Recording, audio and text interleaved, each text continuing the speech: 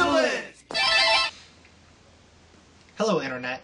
We are the INN, and as always, I'm Ted Reeves, and with me, my cyborg sidekick, Stu Pitt. We have some great news stories in store for you tonight. Our first comes to us from London. This story involves two star-crossed lovers gone bad. Merrick Oz- and his 34-year-old girlfriend, Anna, Anna, Anna. On another note, Anna is a dentist, and after the breakup, that's where the story turns bad. Merrick scheduled his dental appointment with his ex anyways, and when he got to the office, things went horrible. Anna put him under and pulled all 32 teeth.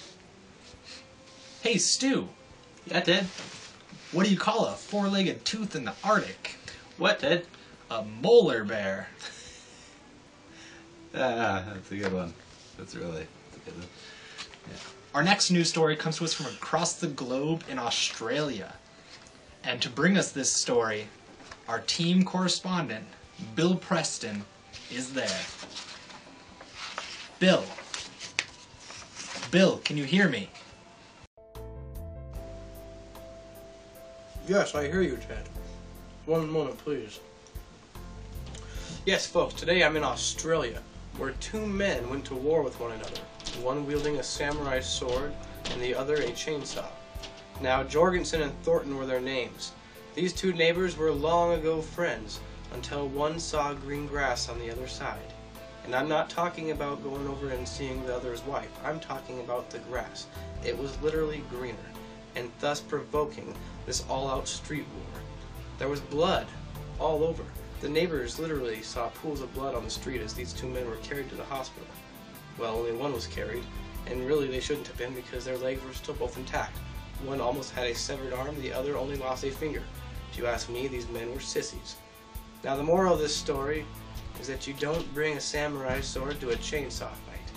And if you do, may God have mercy on your soul. Back to you, Ted. Thanks for that story, Bill. It gave me a tingling sensation.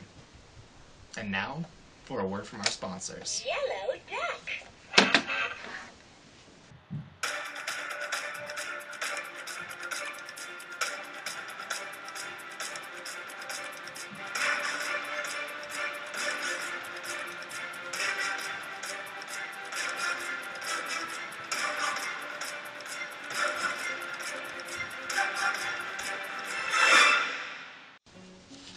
Welcome back, Internet. Next up, with our weatherman, we have weather with Al Nino.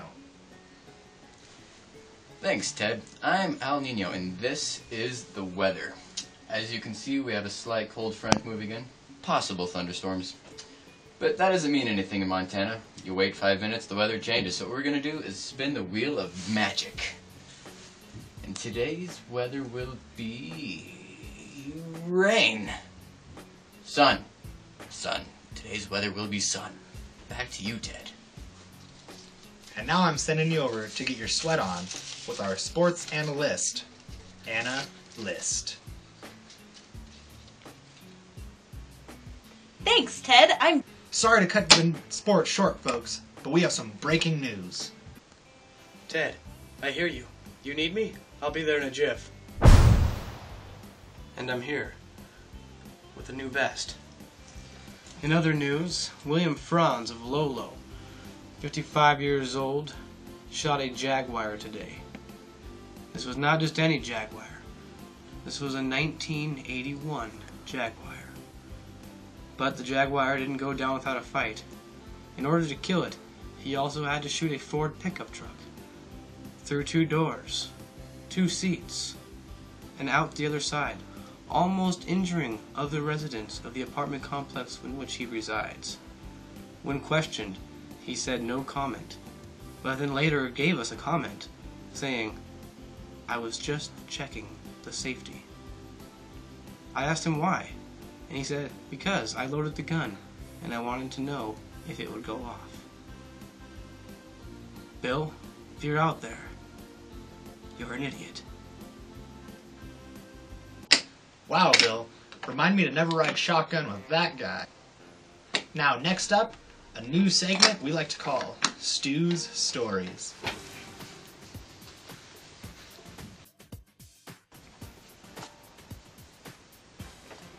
Oh, hi there! Didn't see you there, world. It's time for me to tell you a story. Today, I found $5.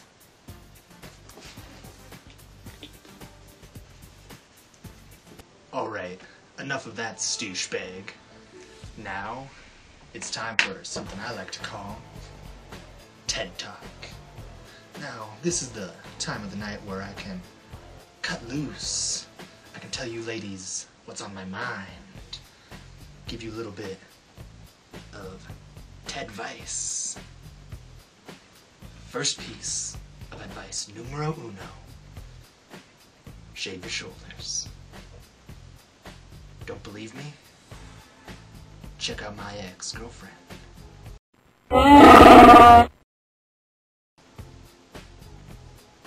Advice piece numero dos. That means two. Wear bacon perfume. Don't got bacon perfume? Just rub some raw bacon all up on yourself, all over your places. Don't use cooked bacon. It'll burn you. Personal experience. Advice piece number three.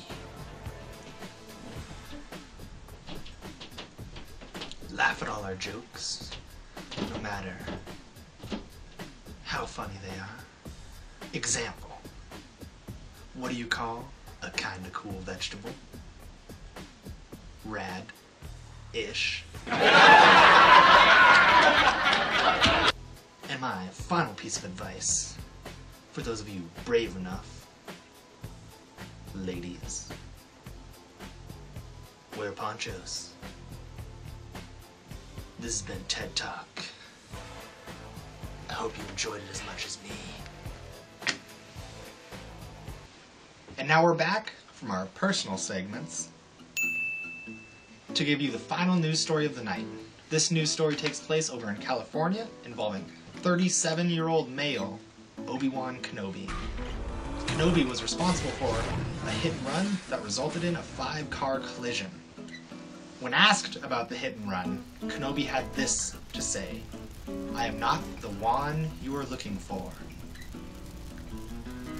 And that does it for that story, folks. And it's time for us to say goodnight.